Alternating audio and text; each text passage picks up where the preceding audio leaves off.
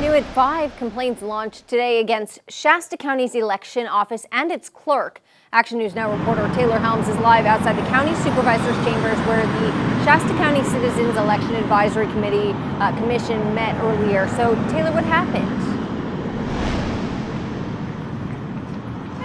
Right, so a lot of time was spent on the very first item on the regular agenda, over an hour at least, talking about an elect about election findings that one man named Richard Gallardo submitted to the committee.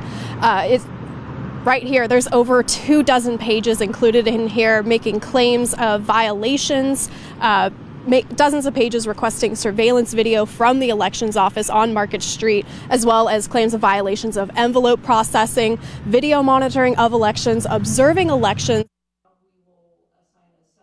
The committee voted today to have members Don Duckett and Chair uh, Conian Lund Ronian Lund, excuse me, to be on an ad hoc committee to go over all of Gallardo's claims and Public Records Act's requests he's already submitted relating to the Elections Office and the Registrar of Voters, Cathy Darling Allen.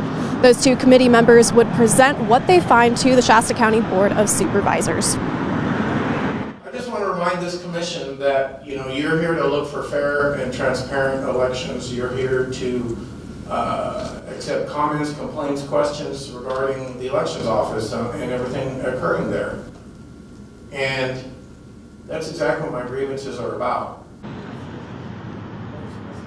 Committee members Suzanne Barrymore and Don Duckett agreed that most of what Gallardo is asking for is something that the Attorney General's office would have to deal with rather than the committee or the Board of Supervisors here in Shasta County. Live in Redding, Taylor Helms, Action News Now, coverage you can count on. Scheduled meeting for the Citizens Election Committee is in two weeks, December 18th.